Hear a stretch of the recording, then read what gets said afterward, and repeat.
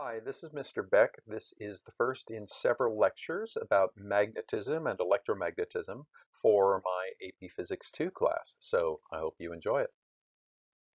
In this introduction to magnetism, we're going to be talking about the history of magnets, which of course we're going to have to talk about the compass.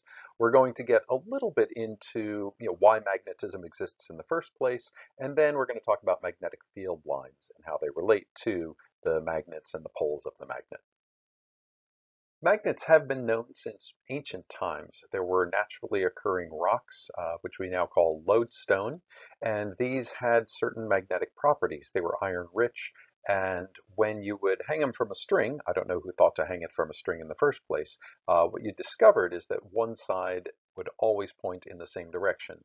So if you were to turn it, it would spin itself back to the way it was originally oriented. And so this was kind of the origin of the original compass. If you take a, nowadays, if you just take a needle, rub it against a magnet, you can stick it in a cork, float it in the water, and you'll find that when it's free to turn, one side will always be pointing north and one side will always be pointing to the south.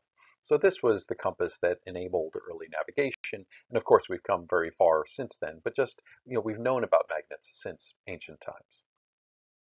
So as we said, one side of a compass will always point to the north.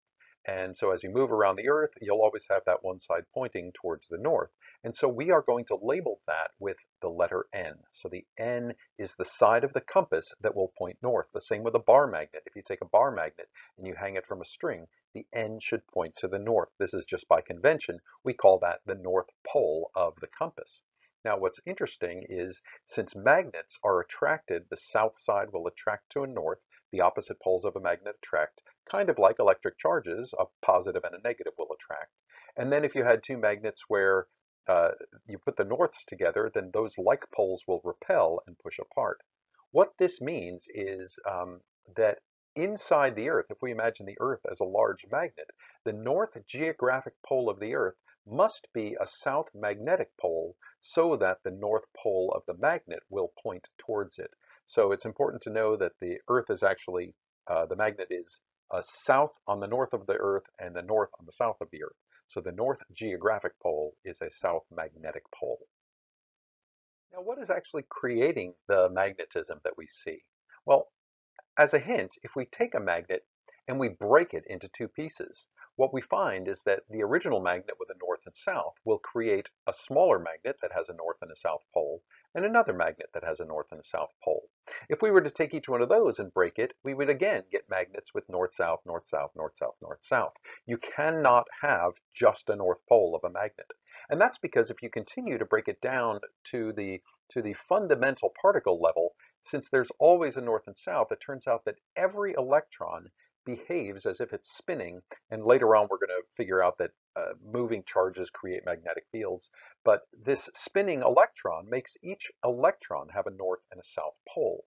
So down to the fundamental level, there's a north and a south on the basic electron level, and you can't even break an electron into multiple pieces. So therefore, that fundamental particle is north-south already. So you can never have just a monopole north or just a monopole.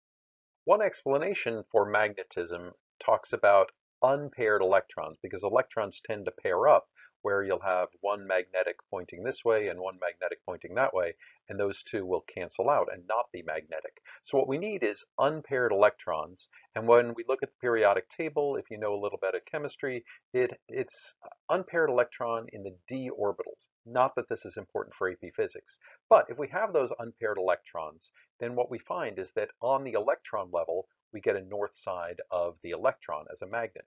If we go to the atomic level, we'll have many electrons, and if those electrons actually can contribute their magnetism and not be canceled out, then the atom as a whole can have a north pole and a south pole. Now, if we take many atoms, we are going to get what we call a domain, a magnetic domain. So a small portion of an object will have that magnetic domain, and if all the atoms are pointing or a significant number are pointing in the same direction, then the net from all of those atoms is going to give us a north and of course a south. And then if we take many domains, then we can get a three-dimensional object. And that object, most objects, even if the object has some magnetic uh, potential, um, if the domains are pointing in different directions, then the overall magnetism will cancel out. So iron is uh, the iron is a material that can have magnetic properties, but it's not always going to be a permanent magnet because the domains will point in opposite directions. So the key to getting an object to be a permanent magnet is that if we take those domains, what we can do is align the domains in order to make the permanent magnet. And what we can do is we can take the object and if we melt it, then we place it in an external magnetic field and then cool it down. That allows those domains and the atoms to reorient themselves so that we get something where all of the domains or the majority of the domains are pointing in the same direction. And when we get the domains pointing in the same direction, then we have ourselves a permanent magnet. So if you take a, uh, a piece of iron, you melt it, you put it in an external magnetic field, and you cool it back down, you can turn that piece of iron into a permanent magnet. Now, permanent is um, you know, not meaning forever, very often that magnetism will fade over time as the domains will reorient themselves into random directions. If you drop a magnet, you can weaken the magnet, but uh, we call it a permanent magnet just because it will hold on to that magnetic field for quite some time. The idea that when a liquid becomes a solid that it could hold on to the external magnetic field in which it was cooled provides some of the best evidence for plate tectonics, the idea that the continents were drifting apart from one another on uh, the large continental plates.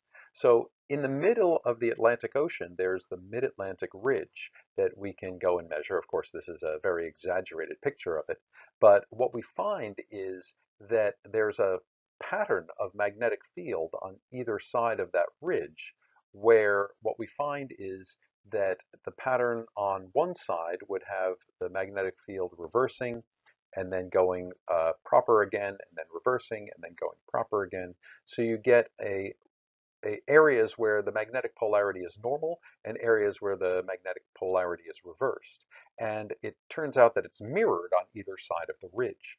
Now, the Earth's magnetic field will reverse on a period of hundreds of thousands to millions of years, where the North Pole will become the South Pole and the South Pole will become the North Pole magnetically. And so as that magma comes up from the uh, center of the Earth, it will solidify in a certain orientation. And then as the continent spreads um, and that mid-Atlantic ridge pulls apart, then when the magnetic field is reversed, you'll get a reverse polarity and then back to normal polarity again. And so since the patterns were mirrored on either side of the mid-Atlantic ridge, it showed uh, that that uh, that surface could have been stretching apart and laying down new rock in the middle of that ridge and had that match the magnetic field of the Earth. So that provided some great evidence for plate tectonics. Now we have to talk about magnetic field lines. Just like an electric charge will set up a electric field, and we can draw that electric field with electric field lines that originate on positive charges and terminate or end on negative charges, we have magnetic field lines around magnets. And they look kind of the same outside. We see the magnetic field lines originate on the north side of the magnet, go around, and they'll end on the south side of the magnet.